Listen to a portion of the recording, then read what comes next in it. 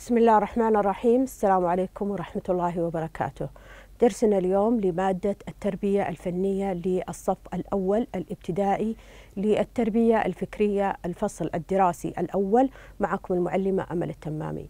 اليوم بإذن الله سنتطرق لموضوع الدائرة باللون الأحمر رقم واحد. الدائرة باللون الأحمر رقم واحد.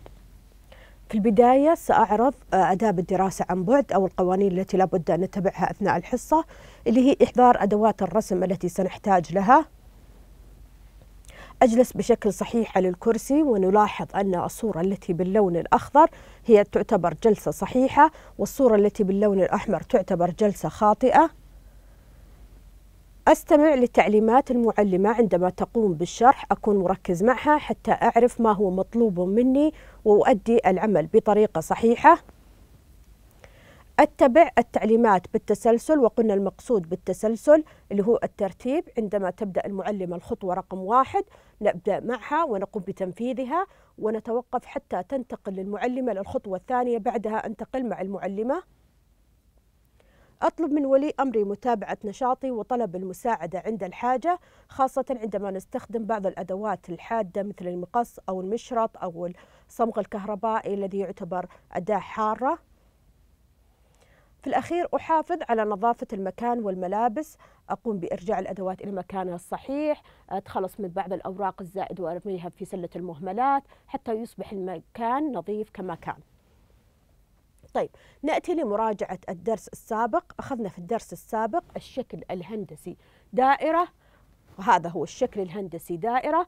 أيضا تعرفنا على لون من الألوان وهو اللون الأحمر وعرفنا الفرق بين الدائرة التي تعتبر شكل من الأشكال الهندسية والنقطة والفرق بين حجم النقطة وحجم الدائرة. من الدائرة حجمها كبير النقطة حجمها صغير جدا. أيضا تعرفنا كما قلت سابقا على أن جميع الألوان سواء الفلومستر المائية الشمعية الخشبية كلها توجد فيها ألوان كثيرة من ضمنها اللون الأحمر. مهما اختلفت المسميات في الألوان جميعها تواجد فيها اللون الأحمر. اليوم نفس الشيء بنتعرف على درس أيضا الدائرة متعلق بالدائرة. إذا هدفنا العام أن يتعرف الطالب والطالبة على الدائرة باللون الأحمر. إذا نفس الشكل الهندسي ونفس اللون اللي أخذناه في الحصص السابقة. عندنا الأهداف القصيرة أن يسمي الطالب والطالب اللون الأحمر ثم يسمي الشكل الهندسي دائرة ثم يشكل الطالب والطالبة شكل الدائرة بالصلصال مستخدما اللون الأحمر. إذا النشاط الفني سنستخدم مادة أو عجينة الصلصال. طيب تطبيق نظري سأشرحه على الشاشة ثم أبدأ تطبيقه عمليا معكم. إذا تطبيق نظري لتشكيل الدائرة بالصلصال باستخدام اللون الأحمر. طيب هل تستطيعون معرفة الأدوات التي سنحتاج لها في الرسم؟ بما أني سأرسم شكل دائرة وسأستخدم الصلصال. إذا تتوقعون ما هي الأدوات اللي ممكن أنا أحتاجها لتطبيق هذا النشاط؟ اذكروا بعض الأمثلة لولي أمركم الذي بجانبكم. ماذا سنحتاج؟ نشوف الآن في الشريحة التالية. عندنا صمغ عندنا خيط صوف عندنا صلصال قالب دائري وعيون بلاستيك. إذا سنرسم الدائرة كتعبير عن الوجه المبتسم لذلك سنستخدم العيون بلاستيك وخيط الصوف.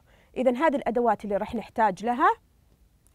بعدها نستخرج الصلصال الأحمر من العلبة. العلب دائما يكون فيها ألوان مختلفة راح نختار اللون الأحمر. بعدين نعجن الصلصال باليدين حتى يصبح مسطح كما تشاهدون الآن الصورة التي أمامكم. يعجن بكلتا يديه حتى يصبح طري ومسطح. ثم أضع قالب بشكل دائري على الصلصال. أزيل القالب من الصلصال سيظهر لي الشكل الهندسي دائرة. بعدها أضع العيون البلاستيك على الصلصال حتى أبدأ بتمثيل الوجه المبتسم على الدائرة. طبعا سنستخدم الصلصال آه الأحمر. بعدها أضع خيط الصوف على الصلصال لتمثيل شكل الفم بهذه الطريقة. إذا هذا هو درس أو نشاط الفني لدرس اليوم. طيب عندنا الصلصال الآن موجود على الطاولة. بختار منه اللون الأحمر.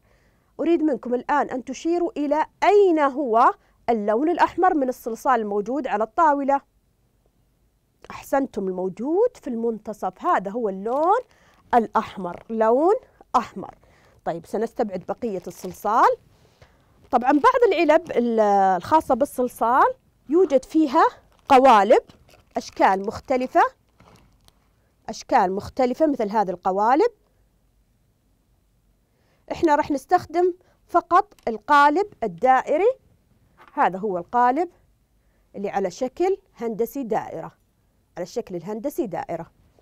إذا لن نحتاج إلى هذه القوالب. أيضا سنحتاج خيط الصوف لتمثيل شكل الفم وبنحتاج أيضا العيون البلاستيكية. بنحتاج أيضا مقص حتى نقوم بقص خيط الصوف بخيط صغير. أيضا سنحتاج الصمغ والفرادة لفرد العجين إذا احتجنا لذلك أو نستخدم يدينا في العجن. إما أستخدم يدي في العجن لتقوية عضلات اليدين والأصابع أو أني أستخدم الفرادة الخاصة بالصلصال. طبعا الفرادة تأتي بأشكال مختلفة بعضها مسطحة وبعضها متعرجة تعطيني بعض آه الأشكال على نفس آه عجينة الصلصال. لن نحتاج لها هذه راح نحتاج الفرادة العادية المسطحة هذه. طيب خلونا نبدأ الآن بما أن عندنا الآن الصلصال الأحمر. طلع كمية بسيطة اللي راح أحتاج لها.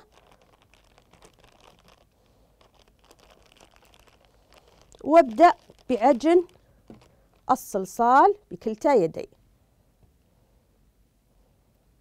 حتى يصبح طري. وأبدأ أفرده على الطاولة. بإمكاني أستخدم الفرادة لفرده. بعدها بإمكاني الآن أستخدم القالب الدائري.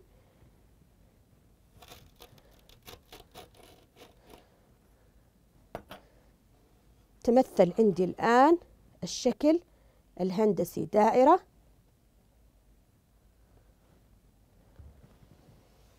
بعدها أبدأ باستخراج العيون البلاستيكية التي أريد أن أستخدمها.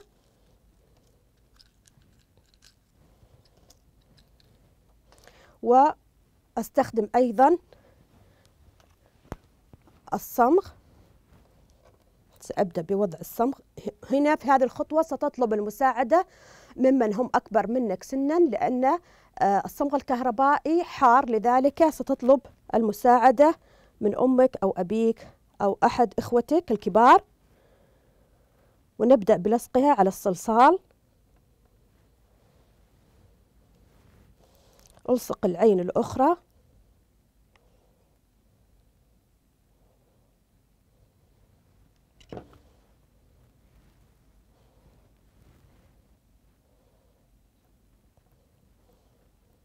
طيب انتهينا الآن من لصق العيون البلاستيكية. نأتي لخيط الصوف. أقص خيط بسيط صغير جدا لتمثيل شكل الفم. وأيضا أكون حذر في استخدام المقاس لأنه آلة حادة أو أنك تستخدم اللي هو المقص البلاستيكي. هذا أكثر أمان للطلاب والطالبات.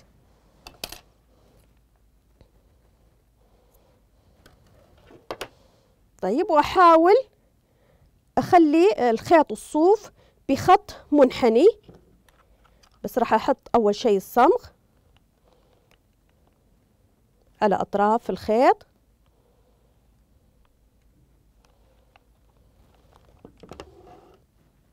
ثم أبدأ بالثانية لتمثيل الخط المنحني. حتى يمثل لي الوجه السعيد أو الوجه المبتسم. وحاول أضغط حتى أتأكد من ثبات الخيط.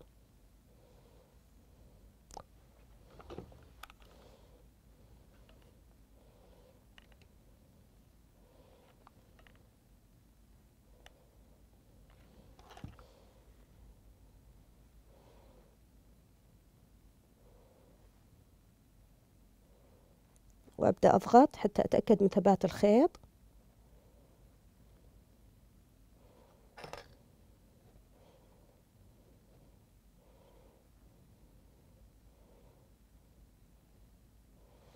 إذا انتهينا من رسم الوجه المبتسم باستخدام مادة الصلصال والعيون البلاستيكية والصوف خيوط الصوف. استخدمنا فيها اللون الأحمر من الصلصال. طيب هذا هو الشكل النهائي. هذا هو درسنا لليوم. أتمنى أن يكون درس اليوم مفيد لكم أعزائي الطلاب والطالبات. والآن جاء دورك عزيزي ولي الأمر بتعميم مهارة الأشكال الهندسية والألوان خلال اليوم في المنزل مع الطالب والطالبة مثلا بالألعاب آه، من خلال استخدام البطاقات وسؤال الطالب عن هذا اللون عن أو عن هذا الشكل الهندسي وماذا يسمى. كانت معكم المعلمة أمل التمامي أراكم في الحصة القادمة مع السلامة.